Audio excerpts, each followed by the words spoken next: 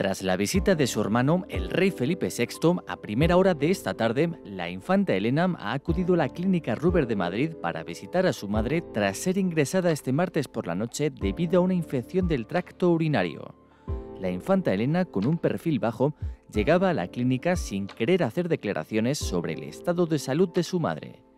Con el rostro serio y la mirada baja, la hija de Juan Carlos I se ha dejado ver visiblemente preocupada por el estado de su madre, a quien vio por última vez hace dos días en la misa en memoria de Fernando Gómez Acebo.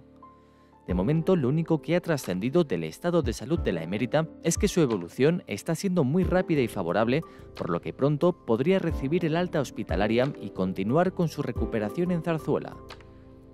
Apenas 30 minutos en el interior de la clínica, la hija de la reina Sofía ha abandonado las instalaciones y se ha marchado tras preocuparse por su estado de salud.